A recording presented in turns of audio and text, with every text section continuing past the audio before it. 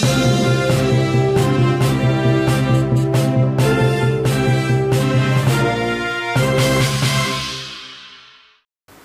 บายดี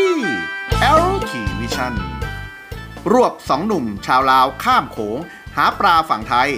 ได้ยาบ้าแทนปลา ครับก็มีข่าวควาวเกี่ยวกับเรื่องของยาเสพติดไม่เว้นแต่ละวันเลยนะครับ ในระหว่างสองฝั่งโขงไทยลาว อันนี้ก็เจออีกแล้วนะครับ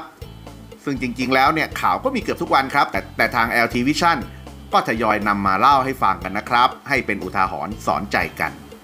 โดยบริเวณริมฝั่งแม่น้ำโขงบ้านห้วยวังฮูบบ้านหนองบัวตำบลกวนวัดจังหวัดหนองคาย โดยผู้บังคับหมู่เรือที่ 4 รักษาราชการแทนหัวหน้าสถานีเรือหนองคาย พร้อมโดยหน่วยงานที่เกี่ยวข้อง ได้ร่วมกันจับกลุ่มเท้าเพชรศรีลิบุญทวงศ์อายุ 37 ปี อยู่บ้านท่าม่วง และเท้าคำ พรหมเสนอายุ 47 ปี ชาวบ้านท่านาแล้ง นครหลวงเวียงจันทร์พร้อมยาบ้าจำนวน 12,000 เม็ดและเรือหางยาวหนึ่งล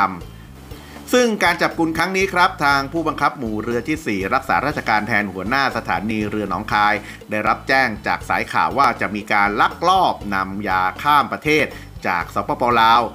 จึงได้รายงานให้กับผู้บังคับบัญชาทราบ จากนั้นครับก็ได้จัดกำลังออกหาข่าวโดยนำเรือสองลำออกลาดตระเวน เมื่อลาดตระเวนถึงบริเวณใต้สะพานมิตรภาพไทยลาว ชุดลาดตระเวนได้ตรวจพบเรือต้องสงสัยหนึ่งลำที่จอดอยู่ตลิ่งฝั่งแม่น้ำโขง มีชายต้องสงสัยสองคนครับ ชุดลาดตระเวนจึงได้ขอตรวจค้น พบยาบ้าแทนปลาครับ จำนวน 12,000 เม็ดบรรจุในห่อกระดาษไขจำนวน 2 ห่อ วางอยู่ในเรือ ซึ่งเจ้าหน้าที่ก็ได้จับกลุ่มชายทั้งสองคน โดยทราบชื่อนามสกุลและอายุตามที่กล่าวมาในเบื้องต้นครับ จากการสอบถามของทั้งสองคนรับสารภาพครับว่า เป็นชาวลาวที่รู้จักกันให้นำยาบ้าไปวางไว้ริมฝั่งโขงด้านไทย โดยจะให้ค่าจ้างจำนวน 5,000 บาท แต่มาถูกเจ้าหน้าที่จับกลุ่มไปซะก่อนครับ เจ้าหน้าที่จึงได้ควบคุมตัว พร้อมของกลางส่งพนักงานสอบสวน ที่สพเวียงคุกอำเภอเมืองหนองคายดำเนินคดีตามกฎหมายครับ